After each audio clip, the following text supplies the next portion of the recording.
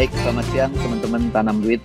Uh, selamat bertemu kembali dengan saya Muhammad Hanif dan rekan saya Ferry Latuhihin dalam acara mingguan kita Market Outlook. Uh, hari ini hari Senin tanggal 14 Juni 2021. Semoga teman-teman semua dalam keadaan sehat, aman, dan tetap semangat. Saya sapa dulu teman saya, Ferry. Apa kabar, Fer? Baik, Bos. Thank you. Everything oh. is okay semua ya sama teman-teman. Mudah-mudahan ya. Amin. Oke, Fer. Judul kita kan jangan takut sama inflasi. Betul. Nah, nah ini memang uh, apa uh, kejadian yang yang terjadi baik global dan juga ditakuti di Indonesia kan adalah tentang inflasi. Di Amerika inflasinya di bulan Mei 5% naik dari 4,2% di bulan April. Di Indonesia juga naik ya kita di bulan Aprilnya uh, dari ya bulan Aprilnya uh, berapa ya dari 1,42 persen menjadi 1,68 persen ya year on year. Nah uh, mungkin bisa dijelasin Fer. Uh, jadi ya. orang-orang pada takut ya. ya uh, itu konsekuensi. Itu konsekuensi dari memang naiknya agregat demand recovery. Sebab hmm. kembali lagi kalau tidak recovery justru akan terjadi yang namanya deflasi. Sebaliknya ya, jadi harga-harga turun. Nah, ini sebetulnya a good sign, tanda yang bagus. Kalau inflasi naik, artinya memang permintaan naik, tapi yeah. memang ada masalah di sisi supply, bos. Ya kan pada waktu shutdown di Amerika maupun di mana-mana, ya kan corona ini kan menyebabkan shutdown. Tiba-tiba karena ada injeksi fiskal stimulus dan corona udah dying out, demand hmm. naik, up demand. Nah, ya. supply-nya yeah. ini kedodoran. Maka hmm. naik harga-harga. Kenapa supply kedodoran? Kita lihat posting mencari tenaga kerja di Amerika itu begitu tingginya tidak direspon oleh pengangguran. Iya, betul. Eh, sehingga mereka juga kesulitan walaupun tingkat pengangguran masih tinggi mereka pun yeah. kesulitan mencari tenaga kerja kenapa mungkin satu karena masalah kita udah bahas juga karena masalah hmm. masih ada cash daripada fiskal stimulus yang dibagikan oleh pemerintah yang kedua ini sekolah-sekolah juga belum buka sama sekali. Nah, orang-orang tua yang masih punya anak-anak kecil di bawah 10 tahun, ya kan masih SD begitu, mungkin masih harus jaga anaknya di rumah, belum berani iya. meninggalkan yeah. keluar. Kan itu banyak alasan lah. Tapi poinnya yeah. adalah di mana-mana terjadi adanya yang namanya bottleneck di dalam supply side sehingga demand duluan naik ketimbang supply bos sehingga harga hmm. naik. Lebih gawat lagi sebetulnya yang terjadi di Cina inflasinya. Iya. Ya, so, Cina karena nah. dia duluan dulu recovery-nya itu dia duluan sampai plus kok tahun lalu instead of yeah. negatif semua negara ya. Nah, Betul. cuma kembali lagi pemerintah Cina mencoba meng mengakali sedemikian rupa melalui commodity prices ya hmm. supaya in, inflasinya bisa diredam. Ini sebetulnya tanda-tanda yang bagus, tapi aksesnya memang adalah inflasi. Nah sekarang kita lihat aja apakah ekspektasi daripada inflasi itu naik. Kita lihat treasury yield balik lagi ke 1,4 bos dari 1,6 lebih. Yeah. Ya kan? Ya, jadi artinya masyarakat investor yeah. percaya bahwa disinflation tidak akan long hmm. lasting. Hmm Begitu supply mengikuti kemauan demand, maka inflasi akan turun lagi. Turun lagi. Ya. Ya, oh. logikanya ya, makanya hmm. yield juga turun tuh, yield curve-nya juga turun ya semuanya. Artinya yeah. masyarakat tidak mengantisipasi adanya sustainable inflation, misalnya seperti tahun 70-an atau 80-an karena ada supply shock dari oil.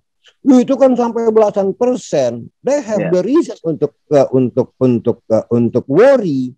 Kalau ya, sekarang ya, ya. ini pure memang bisnis cycle gitu loh. Jadi nggak usah takut dengan inflasi, tidak merupakan dan the Fed juga sudah memberikan forward guidance ya kan. The Fed mm -hmm. itu DNA-nya inflasi ya minimum inflasi itu cepet banget tuh ya the Fed kayak Powell Yellen dia tenang tenang aja mereka tetap dengan forward guidance mereka bahwa mm -hmm. Tuning interest rate itu baru terjadi 2023. Karena apa? Masih ada hmm. selek di dalam ekonomi berupa tingkat pengangguran yang tinggi. Ya, sekarang hmm. yang tercatat 5,8 persen, belum yang pull out dari labor market yang udah males lagi nyari kerjaan. Nah kalau itu diakumulasi bisa 8 sampai 9 persen, artinya apa? Masih ada gap ya antara ya potensial ekonomi dengan yang current economic uh, uh, level gitu loh. Jadi ya, nggak yeah, yeah. mungkin memicu inflasi masih ada production capacity yang belum terpakai. I see. Oke. Okay. Ya?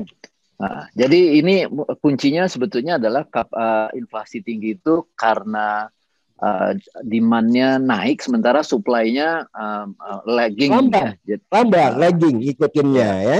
Jadi ya, itu aja okay. dan itu temporary. Ya. Nanti kalau demand tetap sustainable tinggi, supply-nya otomatis naik, bos. Ya, ya. ya? Oke. Okay. Jadi kalau BI juga mungkin uh, ngikutin seperti itu juga ya. Dia juga mencium inflasi ya. Maksudnya uh, DNA-nya ya mirip kayak di pasti, pasti. Uh, yang US. pertama okay. uh, yang pertama yang dia ikutin sebagai indikator untuk menjaga rupiah juga adalah tingkah laku The Fed, kebijakan The Fed. Kalau mm -hmm. The Fed naikin, dia mau tidak mau harus mengikuti The Fed. Nah itulah hegemoni dolar. Yeah. Ya, harus ngikutin mereka gitu. Kalau enggak rupiah kita kedodoran. Ya, bisa terpuruk ya. Itu ya. Yang kedua, hmm. memang domestic inflation. Tapi domestic inflation ini kita lihat juga dari angka-angkanya tidak terlalu mengkhawatirkan bahwa masih ada Betul. slack dalam ekonomi juga gitu loh ya. Ya. Jadi Infla uh, inflasi kita during pandemi ini justru uh, jauh di bawah pada saat normal ya. Normal hmm, kan biasanya tiga persen gitu ya. Uh, uh, Sekarang satu koma enam. Iya, satu koma tujuh. Oke. Jadi uh, di Indonesia juga bukan hal yang harus dikhawatirkan mengenai inflasi ini. Tidak. Orang okay. khawatir saat ini dengan kasus pandemi lagi, dengan kasus nah, corona. Itu. Poin Akibat... kedua yang saya mau tanyain itu, Fer. Uh, iya, dengan misalnya meningkatnya kayak di Kediri ya. kemarin. Kudus, kan Kudus, dalam, eh, dalam sekejap itu kan mereka langsung satu kota itu kena corona istilahnya. Lantas Bandung kita lihat juga sekarang tiba-tiba ya. rumah sakit tuh penuh 80 persen. No okupansinya dari corona. Jakarta kita lihat juga naik every day ya sampai tadinya yeah. hari 2000 berapa gitu kan dari ratusan hmm. ya. Nah, hmm. ini yang market kembali lagi bilang istilahnya tunggu dulu deh nih pelan-pelan nih takutnya nih meledak lagi nih corona seperti di Malaysia kan begitu. Ya mereka hmm. punya alasan gitu loh ya mereka punya hmm. alasan untuk worried karena memang angka-angkanya menunjukkan kenaikan begitu loh.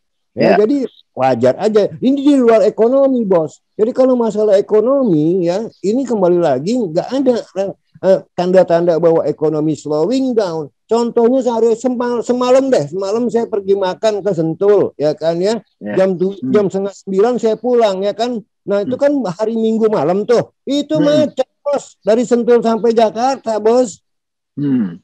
Gak mungkin lah kalau bokeh mereka piknik kan begitu. Nggak hmm. mungkin kalau economic activity nggak jalan mereka keluar rumah kan begitu ya. Mm-hmm. Jadi kalau kita ngelihat harian aja nggak ada tanda-tanda bahwa kita kena corona yang naik tadi, tapi market memang kadang-kadang kan berpikirnya cuma tok ini hari naik atau turun gitu. Nah, dia enggak ya. enggak. Nah, ya, tapi Menteri Kesehatan juga ada Menteri Kesehatan juga udah ngingetin bahwa pandemi yang kenaikan ini fair bisa mungkin berakhirnya di bulan Juli ya dan itu juga tetap eh, PSBB-nya juga harus lebih ketat gitu. Pasti nah, itu, dam itu sebagai sesuatu yang berita bagus atau berita yang mengkhawatirkan sebetulnya kan? Ini tetap dalam jangka pendek ini market masih melihat apakah berita itu credible sampai bulan Juli atau malah longer dan bulan Juli kan begitu ya kan? Hmm, Tapi hmm. hmm. time frame-nya sampai bulan Juli seharusnya sih menteri punya alasan dengan dengan demikian tidak terlalu mengkhawatirkan gitu loh ya.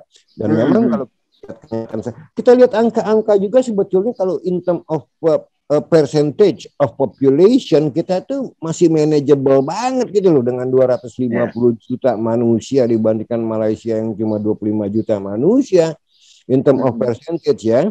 Jadi hmm. memang ya market they have their own reason gitu loh ya untuk worry gitu loh. Nah ini pun sebetulnya kita udah keluar dari jebakan pressure yang mana indeks waktu itu 2-3 minggu lalu di 5.800 sekarang ini udah kan udah 6.100 lagi 100. bos Ya, jadi sebetulnya juga pressure yang menekan kita itu udah pelan-pelan udah pas nih. Tinggal hmm. menunggu kabar kembali lagi poinnya artinya begini, terhadap ekonomi kita market percaya sehingga keluar pressure tadi, keluar dari pressure. Cuma ya. masih ada masalah pandemi gitu loh, masalah corona yang ya. menahan ya. indeks kita di 6100 sekarang.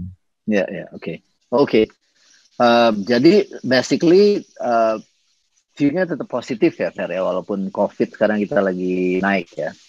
Saya nggak ada alasan untuk mengatakan eh, bahkan untuk merevise down dari 7000 ramalan saya sebelum belum punya alasan gitu loh ya. Yeah. Sebab uh. apa? Uh, kembali lagi kita menunggu kabar berita kuartal kedua angka-angka ekonomi yang akan keluar bulan Juli nanti ya kan kalau hmm. memang itu ternyata di atas ekspektasi misalnya pertumbuhan lah ya di atas tujuh persen. Saya yakin banget ini seperti kuda rodeo yang keluar dari kandangnya. Yeah. Ini akan liar indeks. Oke, okay. Fer ini ada satu lagi um, apa uh, poin yang saya perlu klarifikasi ya, perlu uh, ulasannya juga mengenai kenaikan PPN karena ini ramai dibicarakan ya di media-media dan kelihatannya politisi-politisi juga meramaikan ini gitu kenaikannya yang dari PPN dari 10% sampai 12%. Yang pertama adalah tentang sembako. Yang kedua tentang uh, PPN untuk pendidikan. Seolah-olah ya kalau sembako kan singkatannya 9 bahan kebutuhan pokok ya. Uh, ya. Apakah apakah apakah itu uh, jadi berdampak luas gitu, Fer? Ya. Uh, ya bukan gimana, gitu. Fer? seharusnya begini. Pemerintah begitu berita itu bocor, ya, hmm. entah dari mulut menteri, istilahnya hmm. berita itu bocor dan meresahkan masyarakat, harusnya hmm. pemerintah memberikan klarifikasi, ya, hmm. dari misalnya rencana menaikkan PPN, ya kan? Nah, kalau saya membacanya begini, pemerintah berencana menaikkan PPN mungkin di dalam sidang dengan MPR dalam merancang RAPBN itu mengantisipasi adanya pent up demand yang sangat liar setelah corona ini berakhir. Masyarakat akan berbondong-bondong kan orang kita nggak tahanan megang duit bos maunya belanja aja ya kan ya bokeh yeah. aja mau ngutang gitu loh ya buat belanja. Yeah kan yeah. apalagi punya duit nggak ngutang ya. Nah pemerintah yeah. mengantisipasi adanya ledakan pent up demand yang akan menyebabkan inflasi out of control. Maka satu-satunya jalan adalah menaikkan PPN untuk meredam demand supaya inflasi tetap terkontrol. Itu tujuannya pasti ada ke sana. Nggak hmm. mungkin lain kalau pemerintah mau naikkan PPN. Adanya hmm. ancaman inflasi. Apakah itu bagus kebijakan itu? Kalau memang siklus ekonominya ekonominya demikian, it is a must. Itu suatu keharusan. Sebab hmm. kalau inflasi tetap uh, terjadi out of control, tidak bisa dikontrol lagi, tidak lagi well anchored, daya beli masyarakat pun akan turun. Ya, hmm. jadi yeah. salah masyarakat terutama lapisan bawah yang kena dampak daripada inflasi yang atas mah tetap happy happy sembako buat yang atas mah peanuts gitu loh. Ya, jadi justru yang di mana? Betul. Itulah yang nah. harus diklarifikasi oleh pemerintah bahwa ini hmm. pertama masih berupa wacana. Yang kedua itu adalah strategi dalam mengatasi inflasi. Mm Oke. Okay. Ya. Ini PR-nya ya, pemerintah kayaknya PR ya. PR-nya pemerintah iya, kayaknya di PR. Jadi, ya. jadi Nah, ini mudah menjawab pertanyaan dari uh, beberapa teman di sini yang sudah nanyain ya, uh, Abdullah Emir Pramudia dan juga Pramu Priandono. Itu uh, pertanyaan tentang PPN sudah terjawab, isu tak pertantrum juga baru aja dijelasin. Uh, semoga ini terjawab um, uh, apa Pramu Priandono ya awal udah bilang bahwa sampai tahun 2023 dia udah ada forward guidance tadi Pak Ferry bilang ya uh, inflasi ini sifatnya sementara karena ini um, apa permintaan lebih besar daripada supply ya supply-nya sebentar lagi juga akan ngejar ya ini gamblang banget tadi kok disampaikan oleh Pak Ferry ya. nah ini mungkin satu yang belum uh, baru muncul nih pertanyaannya mengenai rencana uh, negara-negara G7 untuk meluncurkan program saingan Belt and Road China. Apakah ini trade war baru atau apakah ini peluang buat Indonesia? Ini peluang, ini peluang. Ini bukan trade war. Jangan bentar-bentar di ngomongin konspirasi, perang lah, capek deh ya. Sekarang ini setiap negara harus kooperatif dengan negara lain. Tidak ada negara yang bisa berdiri sendiri zaman gini, bos. Ya? Hmm. Nggak bisa, apalagi dengan adanya corona begini. You nggak ngasih obat sama satu negara, negara itu ketularan ke mana-mana, nularin ke diri you sendiri. Kan begitu logikanya. Hmm. Hmm. Ya kan? Nah, kalau ke, kalau G7 punya rencana itu sebetulnya di luar Belt and Road Cina. Karena apa? Sekarang ini spending yang paling masuk akal bukan ngasih cash tapi membangun infrastruktur. Hmm. Untuk meningkatkan kapasitas produksi dan produktivitas Amerika sekarang ini si Biden masih tetap mengejar spending untuk infrastruktur yang triliunan jumlahnya setelah yeah. ngasih cash nih sama penduduknya karena yeah. apa infrastruktur mereka pun udah buruk gitu loh bahkan ketinggalan dengan Cina ya mm-hmm. jadi mm-hmm. Cina juga akan pump infrastruktur di seluruh dunia nah kita yeah. sebetulnya ini suatu kesempatan menggandeng Cina atau negara lain untuk membangun infrastruktur dan mereka pun akan support ya, hmm. untuk membangun produktivitas dan kapasitas produksi yang lebih tinggi sehingga buat mereka ini market yang sangat menarik kan begitu ya hmm. jadi emas apalagi dengan adanya corona ya hmm. tidak lain untuk meningkatkan kapasitas produksi adalah membangun infrastruktur yang lebih baik Nah, artinya apa? Jangka panjangnya ini kalau saya ramalkan sampai 2030 ya, ya dengan modus dengan modus atau paradigma baru di dalam mengelola ekonomi global ini hmm. bagus gitu loh ya hmm. kalau you have a long term horizon saatnya masuk ke indeks saham tapi dengan catatan you have a long term horizon hmm. gitu yeah. loh ya kan yeah. mungkin lima tahun enam tahun tujuh tahun kalau kalau kaum milenial kan masih panjang pensiunnya masih 20 10 20 tahun ya kan. Nah, saya lihat ya kan ini dekadenya Asia malahan sampai 2030 ya. Karena pusat-pusat perekonomian yang dengan pertumbuhan yang tinggi itu cuma ada di Asia, Bos. Kenapa? Karena kapital stoknya masih rendah.